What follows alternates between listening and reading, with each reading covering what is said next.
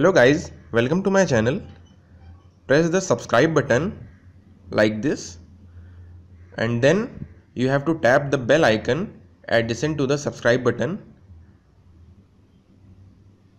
like this and then you will get the notifications from my channel.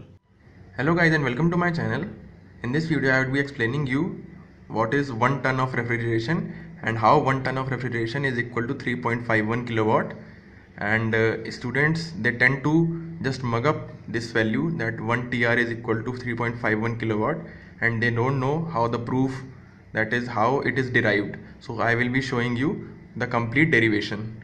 Alright? So before starting with the video if you are new to this channel please subscribe my channel by pressing the red subscribe button below. Do follow me on facebook google plus and twitter. All the links are in the description. If you find this video helpful please share this video among your friends on social media and please press the like button now since 1 TR that is 1 ton of refrigeration this is the unit of refrigeration that is 1 TR is the amount of heat that is needed to be extracted from 1 US ton of water at 0 degree Celsius to convert it into ice at 0 degree Celsius in 24 hours. This is the definition of 1 TR. So the derivation will be from the de definition itself.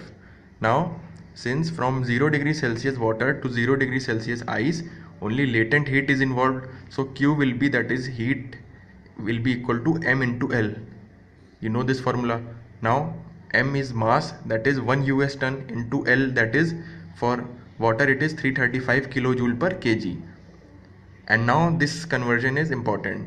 1 us ton is equal to 2000 pounds is equal to 907.185 kg. Alright this is the universal conversion. Now q is equal to 907.185 kg. We will take this value because here it is joule per kg. So kg kg will get cancelled. So q is equal to 907.185 kilojoule kg into 335 into 1000 now 1000 is for converting kilojoule into joule. So 907.185 kg into 335 into 1000 joule per kg. Now kg kg will get cancelled. So q will come out to be 303.906975 into 10 power 6 joule.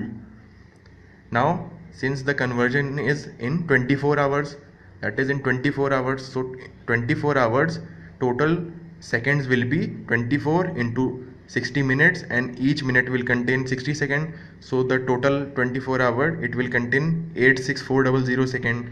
Now the heat per unit time that is power that is work done per unit time so q upon time that is 303.906975 into 10 power 6 joule this q upon this time 86400 so it will come out to be 3517.44 watt. Now joule per second is watt so 3517.44 watt. And if we want to convert into kilowatt so place decimal here so it will be equal to 3.51744 kilowatt which is also equal to 210 kilojoule per minute. Hence, we have proved that 1 TR is equal to 3.51744 kilowatt.